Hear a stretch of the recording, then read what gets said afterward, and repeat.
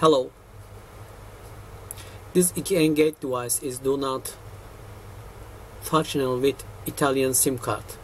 We are in Turkey right now and that device really be functional with Turkish SIM card and it can be connect to Turkish GSM operators with Turkish SIM card but if we connect Italian SIM card on that device then device is I think searching always net online.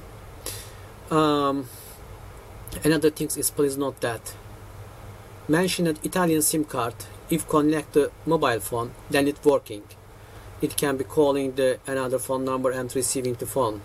There isn't any problem with that mentioned Italian SIM card with um, GSM phone or a mobile phone. I need to know that why this device do not connecting with Italian SIM card to GSM system. Just need to know this